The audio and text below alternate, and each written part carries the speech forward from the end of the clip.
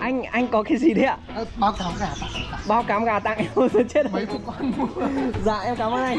À, em chào anh chị nhá. Chị ơi để đây vào em uống nước chị à? Dạ Làm sao chú cứ đi trên đất thế? ôi tôi chết rồi đấy con lại hỏi chú thế Làm sao chú cứ đi trên đất Ôi tôi chết rồi đấy, con lại hỏi chú thế Chú đi trên đất suốt ngày là vì chú hay phải làm vườn con ạ. Giời.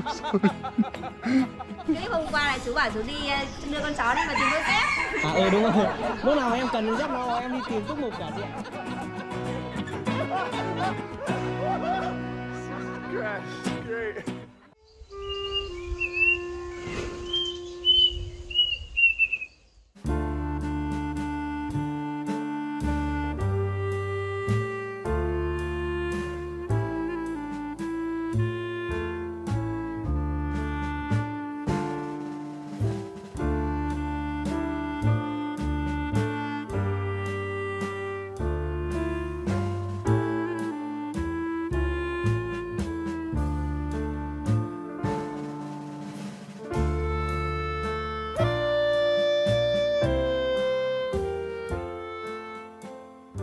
em vừa điện cho anh mà lúc sang đò mà sau không có tiền sang đò đấy gì? Vâng. thì sao không bảo người ta bảo là cứ ờ, cho cháu sang đò xong về cho trả tiền anh đưa cho. Sao em lại về nhà bạn em lấy. À ờ ờ. Em gửi anh. À đấy quên giờ anh mới kịp chào em. À, em ở đâu ấy nhỉ? Em ở Sóc Sơn ạ. Ở bên sóc sơn á? Vâng. thế thì à, hôm qua em nhắn tin cho anh là em gửi anh hai con chào mào đúng không? Thế nhưng mà nó có tự ăn được không? Em vẫn đang bón anh ạ. Vẫn phải bón á? Vâng. chào mào non hay chào mào già? Đâu anh xem nào. Ui con này cũng không phải là non lắm nhưng mà cũng gọi là chào mào non. Thì nó bị làm sao hả em? Đợt à, bác em cho bị mèo vờn anh. Bị mèo vờn. Vâng. thế là sau nó bị liệt? Chắc là liệt cánh luôn. Liệt cánh luôn á? Vâng, sau dạo này em đi học em không có thời gian chăm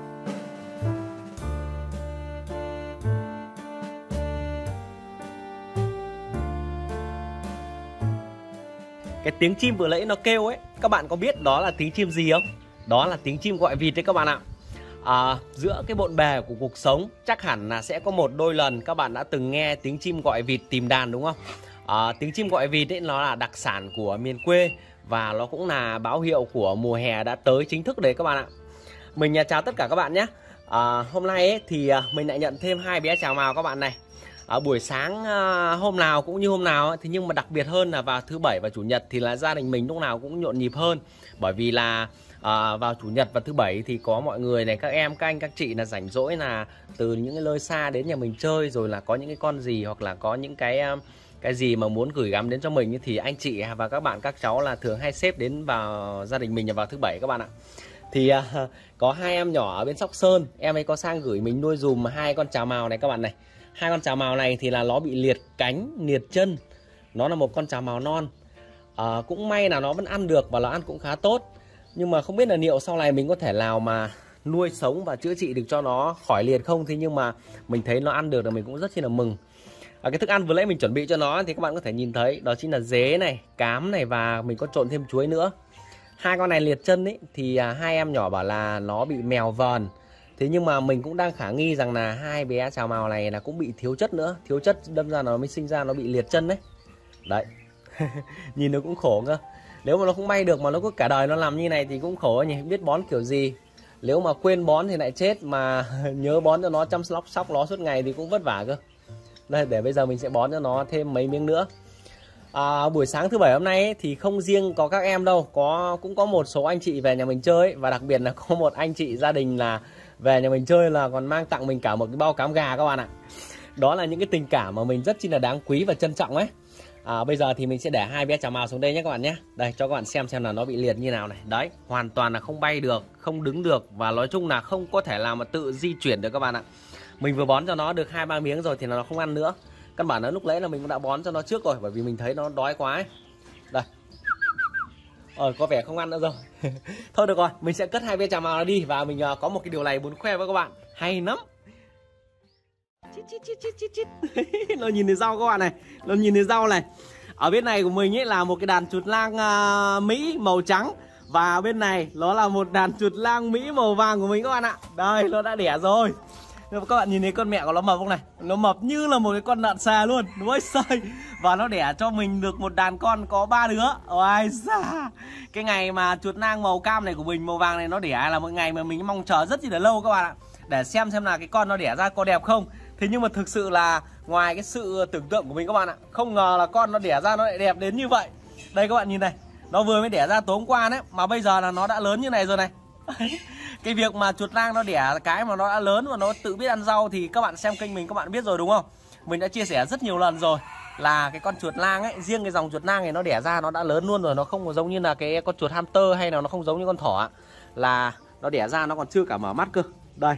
Ui, đẹp chưa ôi nhìn nó nuột chảy luôn này. Cái con này nó đẻ ra là nhìn đẹp hơn cái con màu trắng các bạn ạ. Cái con màu trắng ấy là nó đẻ ra là kiểu như là lông nó hơi xoăn xoăn đấy thế nhưng mà con này lông nó mượt tít luôn này. Uầy. Bụng nó to thế mà sao nó đẻ được có ba con nhỉ các bạn nhỉ? Mà bây giờ bụng mẹ nó vẫn còn rất chi là to nhé Nhưng mà chắc là nó không đẻ nữa đâu. Nếu nó đẻ thì nó đẻ một lần là xong luôn đấy các bạn ạ. Đấy. Đây. À, Lúc sáng mình có cho nó ăn cái cỏ voi ấy Là cái con chuột nang à, Mỹ màu vàng này. Nó nó ăn rồi. Chứ bây giờ mình cho nó cái ná này không biết là nó có ăn không? Đây là nó đang lần mò ra để nó tìm ăn Nhưng mà chắc là mình đến đây nó sợ ấy. Ui vừa đẻ ra mà nó đã biết sợ người rồi nhá. Và không phải là riêng cái đàn chuột lang à, Mỹ màu vàng này của mình nó đẻ đâu. Còn một cái đàn chuột lang à, Việt Nam của mình nó cũng đẻ nữa. Các bạn đợi tí để mình vứt cho cái đàn này của mình nó ăn. Tí rau Sau đó là mình quay sang bên kia cho các bạn xem. Quả này thì hơi bị nhiều chuột lang luôn. Đây. Đây đây. Chít chít chít chít chít chít chít. Đây để mình cho nó ăn. Đấy Cái rau của mình thì có lúc nào thiếu đâu. Thế nhưng mà hôm nay mình vào quay thì mình có cố tình là hái thêm cho nó một tí uh, rau diếp. Rau diếp nhà mình trồng rau sạch đấy các bạn ạ. Đây cái đàn này nó đẻ ra thì là được uh, những cái con đen các bạn ạ. Đây nó giống bố nó. Đây đây đây đây đây là cái con mẹ này. Đấy đấy đấy đấy. Toàn đen thôi toàn đốm đen thôi. Mình sẽ cầm một con này cho các bạn xem nhé. Nhìn nó đẹp thực sự luôn đấy. Đấy đây đây đây ôi rồi đây đây đây đây cái con này đen nhất con này đen nhất. Đấy. Các bạn nhìn này ôi xanh có kém gì chuột năng mỹ đâu đúng không? Nhìn đẹp thực sự luôn đấy. Đen tiền luôn. Đấy đây đây đây. Mình sẽ để vào đây để cho nó ăn. Đấy. Đẹp chưa? Ngọc mai ơi! Ở à đây rồi. Ra đây cho cá ăn hộ bố này. Các bạn nhìn này những cái con cá của mình bây giờ là ở bên bên ngoài này là rất chi là ít nhá. Ngọc mai còn vỗ tay đi. Vỗ tay mạnh vào. Đây đây đây nó ra một đàn đây này. Ui. Ghê chưa đây con đổ cho nó ăn đi. Đấy con vỗ thêm một tí nữa để cho nó ra cho nó đông hẳn đi. Đấy đúng rồi. Bây giờ con đổ đi. Con đổ cả vào chỗ đóng đông con đổ cả vào. Ừ đúng rồi cho cả cám to cám nhỏ hết rồi. Đấy. Ui rồi ui mỗi một lần cho cá ăn này là cảm giác nó rất chi là thích các bạn ạ. Bởi vì nghe tiếng nó ăn rồi nghe những con cá nó nó nó quẫy nước này cảm giác nó rất chi là vui. Với lại à, nhìn chúng nó ăn khỏe mạnh nữa. Nhìn thích cực kỳ luôn. Cảm giác cảm giác này. Mình vừa ghép cái đôi chim chào mào của mình vào hôm kia các bạn ạ. Thì hôm qua mình đã bắt đầu thấy phát hiện là nó cảm giác để nó muốn làm tổ rồi. Và bây giờ này nó đang cảm giác mà nó vào cái tổ này để nó làm các bạn này. Ui Mình chưa thấy con chào mào nào mà nó lại làm tổ ở trong những cái chiếc tổ kiểu dạng như này luôn nhá. Tướng qua nay là nó cứ liên tục hai con nó càm vào cái tổ này. Cái tổ này nó là cái tổ con chim di đập được rồi đấy. Nó có con trứng mình thăm ấy nhưng mà mình không thấy trứng nó lở. Chắc là cái tổ đấy là nó đẻ xong nó bỏ rồi. Thì bây giờ là cái đôi chào mào nó đang sử dụng lại cái tổ này để nó làm tổ này đấy, ngon phết. Còn cái tổ ở phía bên này này. Cái tổ phía bên này là cái tổ con chim di mà nó đang lở này. Bây giờ con nó thì chắc cũng lớn rồi. Mình chưa thăm nhưng mà mình nghĩ là chắc cũng đã mọc lông ống rồi đấy. Ở đâu hai con chào máu đâu kìa kìa kìa. Đấy, nó rất chi là hang say đi tìm rơm, tìm rác để nó làm nhá. Lạ ghê thật. Kiểu gì mà chào mào đi làm tổ trong những cái chiếc giọ như là kiểu chim di, chim sẻ nhỉ? Nếu mà nó làm tổ thì chắc sớm muộn cũng sẽ sinh sản và đẻ thôi các bạn ạ. Bởi vì là à, đôi này của mình cũng khá già rồi đấy.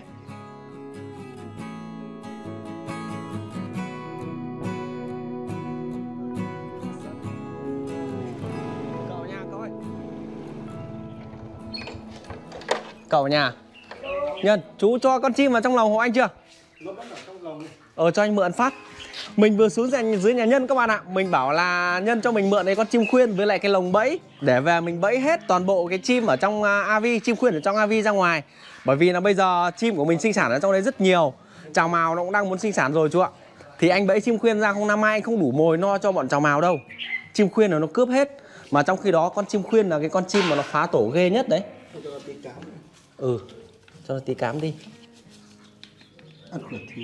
Đấy chắc là anh mượn bẫy sau tối anh giả nhé tối hoặc là sáng mai.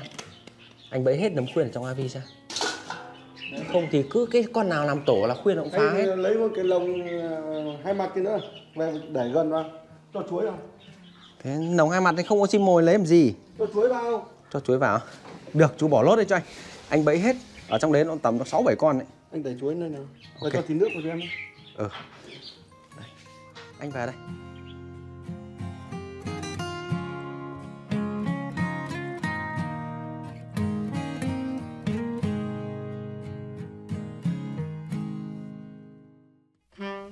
Cái nòng này mình sẽ treo ở chỗ này. Treo ở đây. Đây. Đấy.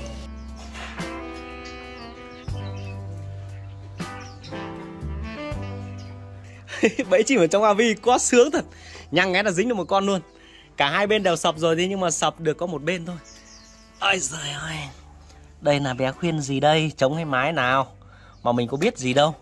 Đâu rồi mình sẽ túm cho vào trong này. Đấy, mới được có một con vẫn còn nhiều lắm. Đây đây đây giờ bắt kiểu gì nhỉ? Lại sống mất giờ. Lại sống mất giờ. Wow đây rồi. Đấy. Đây đây đây, đây. Ui dồi ôi à, đây các bạn này. Đây là một bé khuyên. Đây là một bé khuyên à, khuyên khuyên chống mái mình chả biết nữa. Đây các bạn này. Một bé khuyên mình cũng không biết là chống hay mái nữa. Nhìn cũng rất là đẹp. Họa hiếc là như thật đấy đùa đó, đẹp hay không phải hỏi bác long hay là hỏi nhân. Đội đấy biết hơn nhưng mình không biết được. Đấy. Đấy. rồi một con. À quên cho luôn vào lồng bẫy không cho nhỉ? Rốt thế. Hai con. Lại thêm được một con nữa này các bạn này. cái con này thì uh, nhìn cái uh, mắt của nó đẹp cực kỳ luôn các bạn ạ. Để mình bắt lên nhé. Đây đây. Quay ra ra cái con này các bạn nhìn có đẹp không này? Uấy cái con này là họa đẹp hơn cái con vừa lấy, đúng không nhỉ?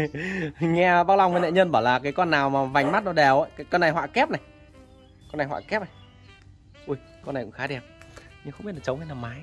Nhưng họa kép chắc là chỉ có trống thôi chứ đúng không các bạn? Đây đừng cho lốt vào đây. Chặt thế nhỉ? Đây đây đây đây đây. Con này lành lành đấy nhỉ? Ô, không phải lành không phải lành. Đấy tiếp tục. Trong lúc mà chờ những cái bé khuyên nó dính bẫy thêm ấy thì mình à, tranh thủ ra ngoài này để xem mật ong như nào rồi lấy mật ong các bạn ạ. Bây giờ là vào đầu mùa hè mình lấy mật ong vào cái tầm giờ thì à, tí nữa là mật ong nó sẽ sinh sản ra tiếp ấy. Bây giờ mình lấy thì để sau này mình có có thể lấy tiếp được. Mùa hè mình có thể lấy được vài lần đấy các bạn ạ. Còn nếu để lâu không lấy thì sau nó cũng hỏng hết đấy.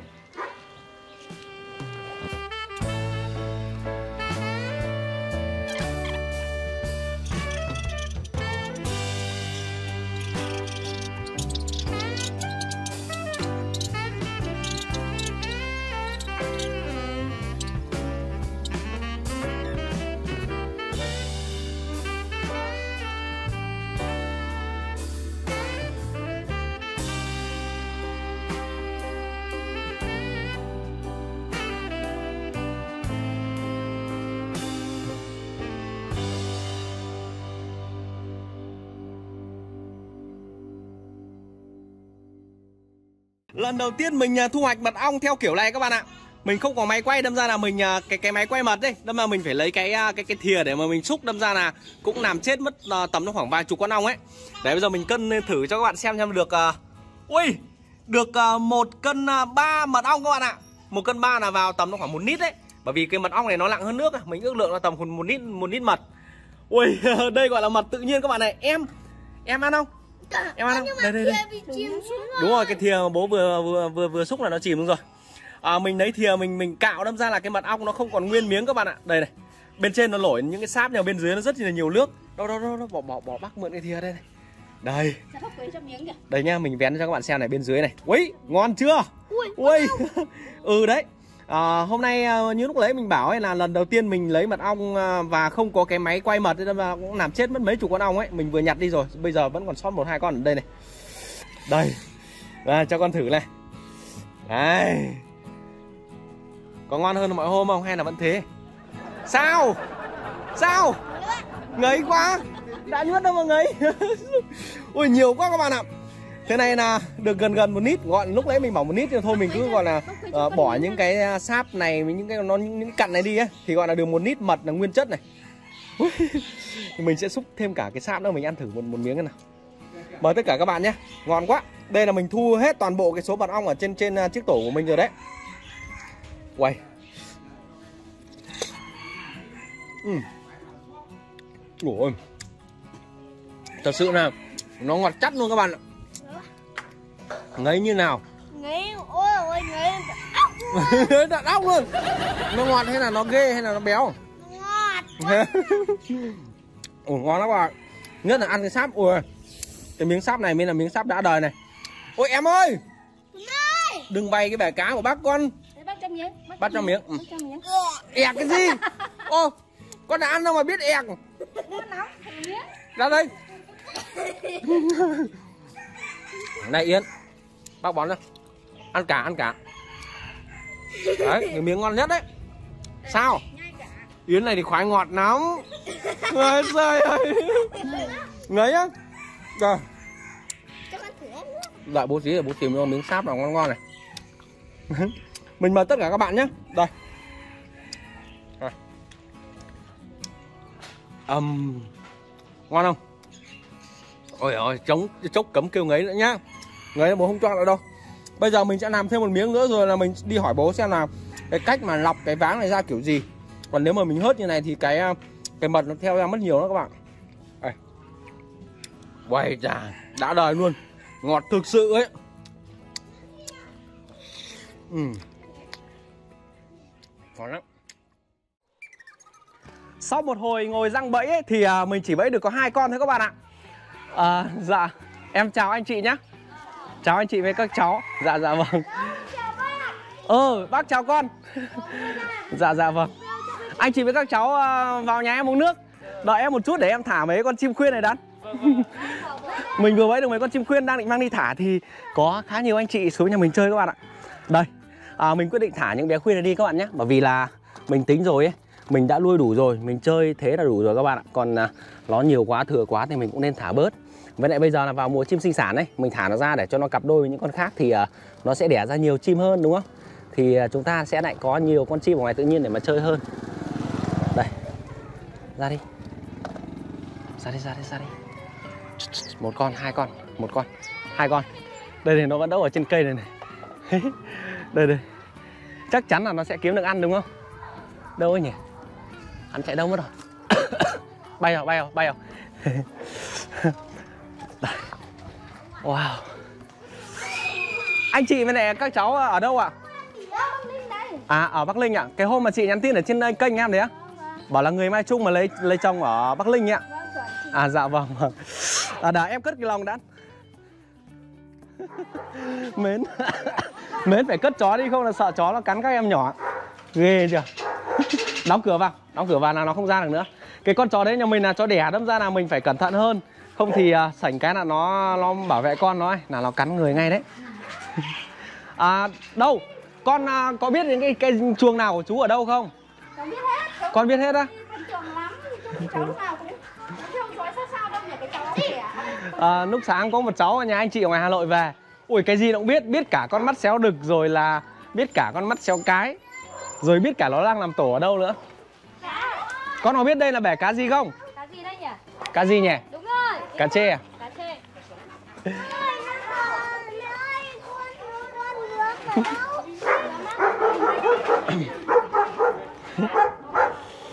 Bên này là bể rùa của chú này. Đấy. Còn à, bên này là bể cá sấu. Đúng không? Đấy cá sấu của em thì nó nhỏ mà là nuôi cái bể chắc nó không được to lắm đúng không anh? ừ, Em nghĩ là chắc là cá sấu cảnh nó cũng không to được À đây cái số cảnh đúng không anh? Vâng em nghĩ thế Bởi vì nếu mà to quá thì cái bể diện tích của mình nó sẽ sẽ Dạ dạ dạ vâng Cái vâng mô hình này rất là hay mô hình này là nếu mình áp dụng được cái kiểu homestay trẻ con đi cháu ngoại thế này là em thấy khá là hợp lý Vâng, nói chung là ờ, cứ thứ bảy chủ nhật nào chủ nhật nào cũng vậy là gia đình em gần như là nghỉ cả buổi sáng luôn để đón tiếp mọi người đến. Gần như em dành cả buổi sáng luôn, rồi sau buổi chiều là em lại bắt đầu vào việc. Một mô hình gọi là vườn bách thú nó thu nhỏ là thu nhỏ nhưng mà chưa được lắm nhưng mà nếu mà ở địa phương mình có là như này rất là tuyệt vời. Vâng, em chỉ gọi là như anh cũng biết rồi đấy, chỉ có mấy con chim với lại mấy con sóc thôi chứ cũng chủ yếu em chim là nhiều. Vâng, vâng. với lại chuột lang ở trên nhà. Cái này đôi khi nó là đam mê mà là nhưng mà em thấy là mô hình này ở quê mình tới đây anh làm như này thì em thấy khá là là, là tuyệt vời. Dạ